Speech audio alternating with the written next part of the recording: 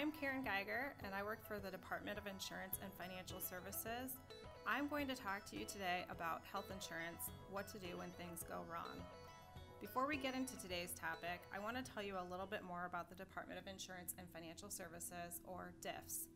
We have previously been known as the Office of Insurance and Financial Regulation, OFIR, and before that, OFIS.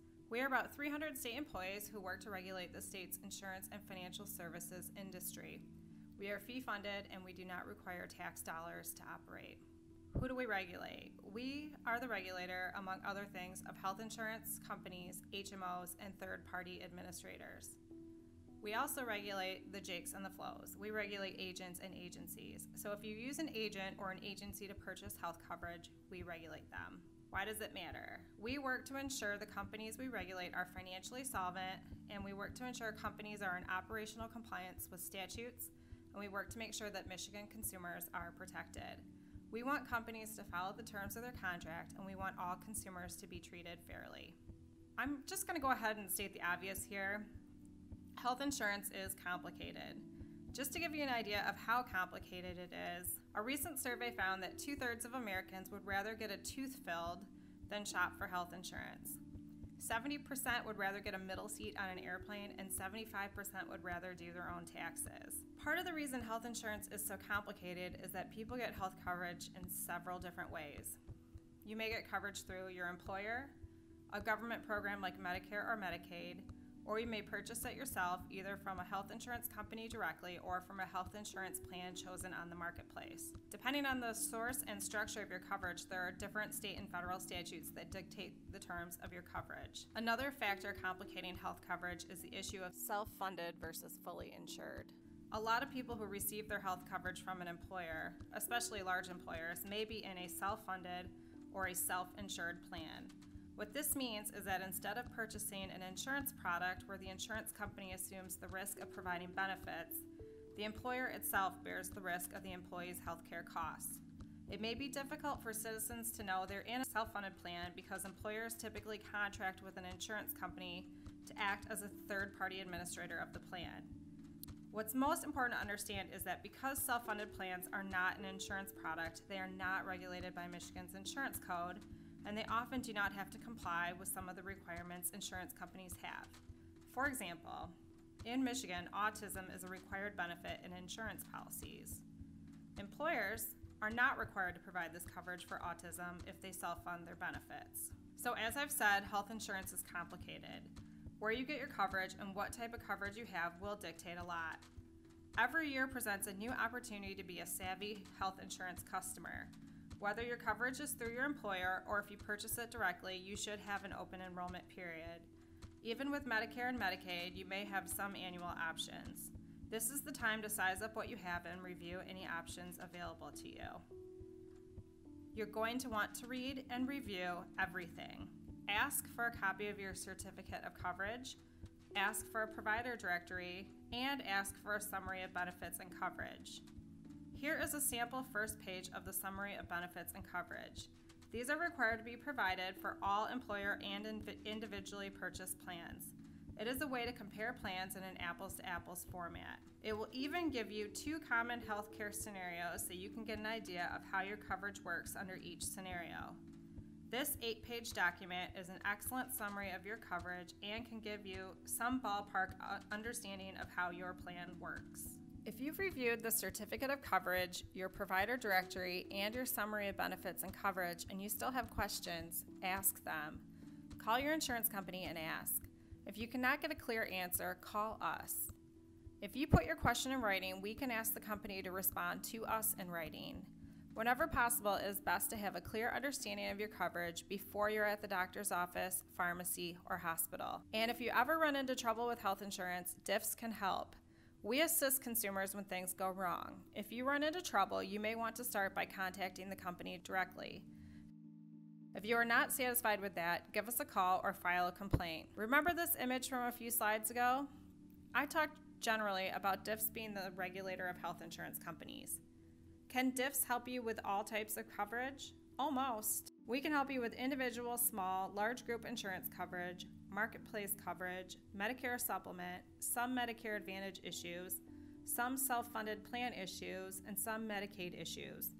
For example, with Medicaid, we cannot help if you're having an issue with eligibility or provider networks. But because Medicaid uses HMOs, we can help with contract language issues and adverse determinations. Both Medicare and Medicaid have their own complaint processes, and we would advise the consumer on all of their options, whether through our office or somewhere else. Here are some common complaints we receive involving health insurance. We often get complaints involving insurance billing issues that lead to a cancellation of a policy. Maybe the insurance company credited the wrong account with your payment and the policy cancels. Or you receive a bill for a normal monthly payment, but there is a prior or past due amount that is not included, and the policy cancels for paying the incorrect amount. Another common complaint is that you go to the doctor's office or pharmacy to use your coverage, but find it was canceled and you never received a notice of cancellation or a bill. Another common complaint involves claims denials due to conflict of policy language or violation of statute.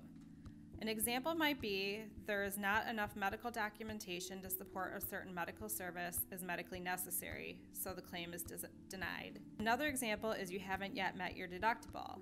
So while it feels like the claim is denied, it is actually that you have to pay the full amount before your insurance will kick in.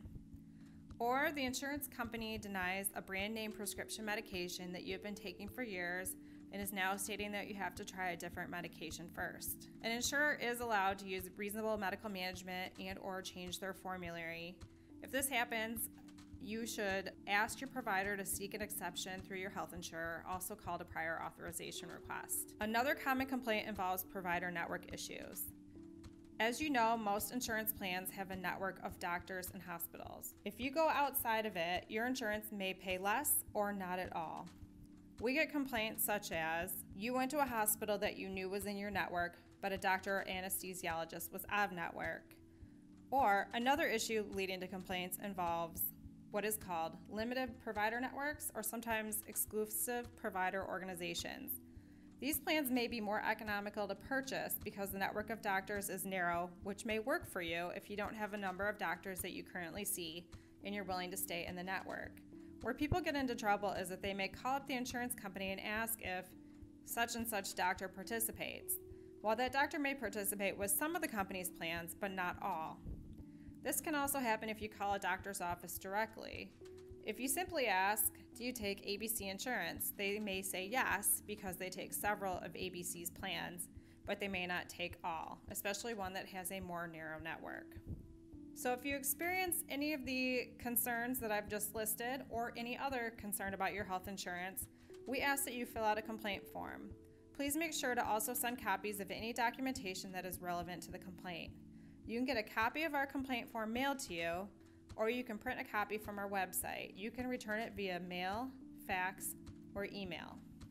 And we have just recently added an online complaint form to better assist consumers.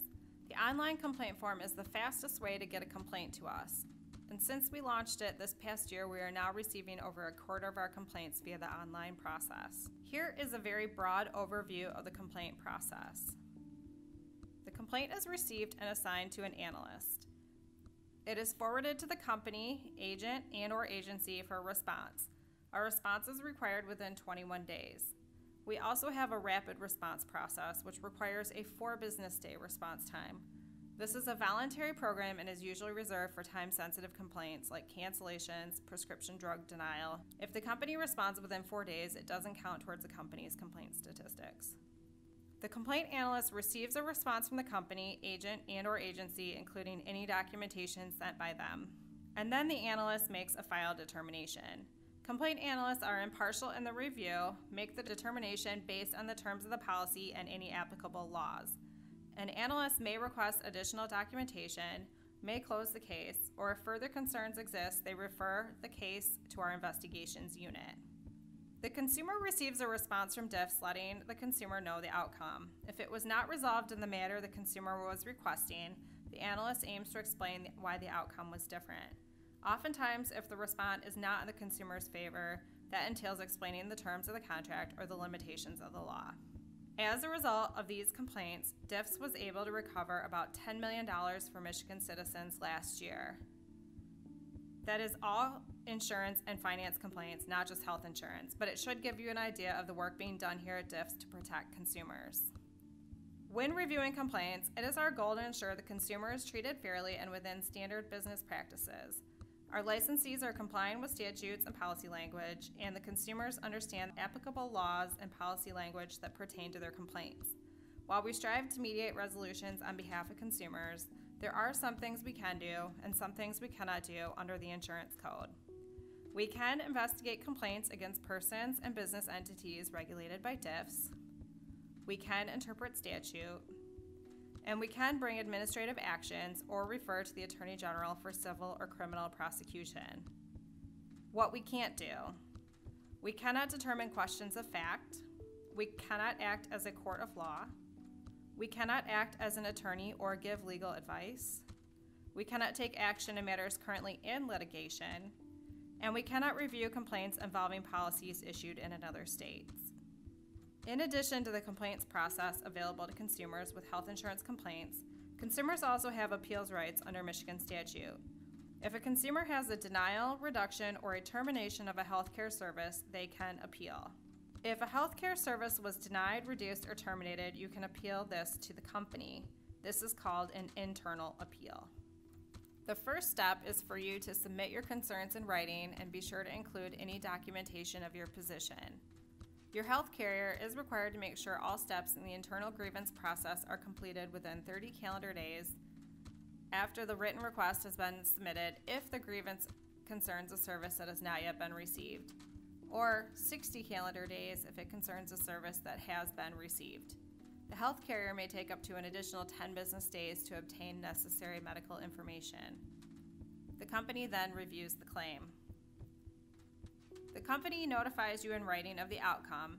They may agree with your position and the matter ends there. If they still deny your service, they will notify you of the next steps. The next step in the internal appeal process may give you the right to appear before a designated person or managerial level committee. The health carrier is again required to notify you of its determination in writing and to advise you of your right to the external appeal process with DIFS under the Patient's Right to Independent Review Act, also known as PRIRA. And here is a screenshot of the form you will fill out. You can mail, fax, or email it to us. And you can see there are several steps in this process. You are only eligible for the external review process if you have exhausted your health carrier's internal grievance process, or if it failed to complete the internal process under the time dictated by law, or if a carrier waives its internal grievance process or waives the requirement that a patient exhaust the process before seeking external review. That appeal should be in writing and include all necessary documentation. Our office will not seek out information to support your position. It is your responsibility to provide, for example, copies of bills, correspondence, medical records, etc.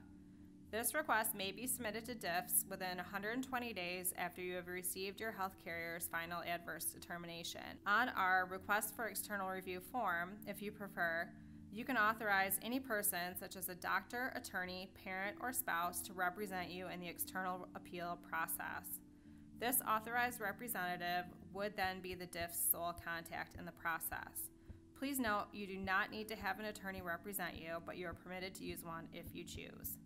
Once the appeal is received, DIFS has five business days to conduct a preliminary review to determine if you are eligible for the PRIRA external appeals process. DIFS notifies your health carrier of the request and obtains pertinent information to help decide if the patient and healthcare service is eligible for a PRIRA external review.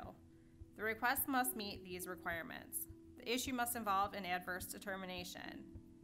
The coverage involved must be subject to the Patient's Right to Independent Review Act. The patient must have been a covered person at the time the healthcare service was provided or requested. The healthcare service in question must reasonably appear to be a covered service under the contract or policy. The covered person must have exhausted the internal grievance process of the health carrier. And there are additional procedures that must be followed if the appeal involves experimental or investigational service or treatment. More information on this is available on our website. If your request is accepted and involves only contractual provisions of the contract or policy, the review is conducted by the Director of DIFS. If your request is accepted involves issues of medical necessity or clinical review criteria, it is review, referred to an independent review organization or IRO. An IRO is an independent entity that has a contract with DIFS to conduct independent medical reviews under PRIRA and make a recommendation to the director. The IRO uses medical professionals with expertise in the healthcare service at issue in the review. Again, DIF staff will not investigate, contact medical sources, or seek out information to support your position. It is your responsibility to provide the pertinent documents such as bills, explanations of benefits, medical records, correspondence, statements from doctors, and research material to support your position. If the issue in the review is referred to an IRO, the health carrier is required to provide the IRO with the medical records and other documents it used to make its adverse determination. The IRO will use this information to make its recommendation. If an IRO is not contracted, the director of our department will issue a decision within 14 calendar days. If an IRO is contracted, the IRO is required to provide DIFS with its recommendation within 14 calendar days. The director then issues a decision within seven business days after that. If either you or the company disagree with the decision, you can appeal in circuit court in the county where the covered person resides or in Ingham County within 60 days from the date of the decision. If it goes to court, DIFS will not represent you. Recent statistics suggest one third of our external appeals cases result in either an overturn of the insurance company's position or a resolution in advance of the director issuing an order. DIFS does have an expedited appeals process if the regular appeals timeline would seriously jeopardize your health, your life, or your ability to regain maximum function. A PRIRA expedited external review is completed within 72 hours after your request, which DIFS prefers in writing, has been accepted for expedited external review. To qualify for a PRIRA expedited external review, you must have your physician verify orally or in writing that the time frame for a non-expedited PRIRA external review would seriously jeopardize your life or health. A PRIRA expedited external review is only granted when the issue involves healthcare services that have not already been provided to the patient and the issue involves medical necessity of a serious medical condition. The same form is used. As I mentioned earlier, we can assist with some Medicaid issues, but not all. Medicaid beneficiaries are able to use our department's internal and external appeals process and our complaints process as well. We will take these appeals and we will use contract language and the provider manual to review and rule on an appeal. Medicaid has its own appeals process, and Medicaid beneficiaries can avail themselves of both processes simultaneously. Still have questions? DIFS has answers. We have additional information available on our website, and we have a toll free hotline staff, staffed by real live human beings that can talk through your questions. We even have an insurance analyst on duty that can handle more complex questions. To reach uh, our call center, we are available 8 to 5 Monday through Friday. And finally, here is the website and toll free number. And we are active on Facebook and Twitter, and here are the social media handles for that. Thank you for your time.